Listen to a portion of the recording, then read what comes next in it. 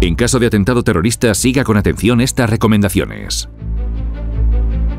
En lugares habituales como su trabajo o aquellos con afluencia masiva, ubique las salidas de emergencia o vías de evacuación. Le llevará poco tiempo y estará preparado ante una emergencia. Si localiza cualquier bulto u objeto sospechoso, nunca lo manipule y alerte de inmediato al personal de seguridad o las fuerzas y cuerpos de seguridad. En caso de atentado, actúe con calma. Tendrá más posibilidades de no sufrir daños. Cuando la ruta de escape es segura, aléjese del foco de peligro. En lugares cerrados, utilice las salidas de emergencia o vías de evacuación, evitando ascensores o donde pueda quedar encerrado o bloqueado.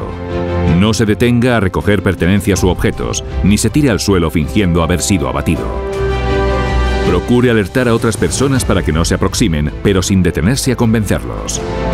Si puede, ayude a otras a escapar del foco de peligro y cuando haya personal de seguridad, siga todas sus indicaciones. Cuando no pueda alejarse, ocúltese. Si se oculta en una habitación, cierre la puerta, refuércela y aléjese de ella, pero evite quedar encerrado si no hay salida o vía de escape. Protéjase tras algún muro u obstáculo resistente a armas de fuego.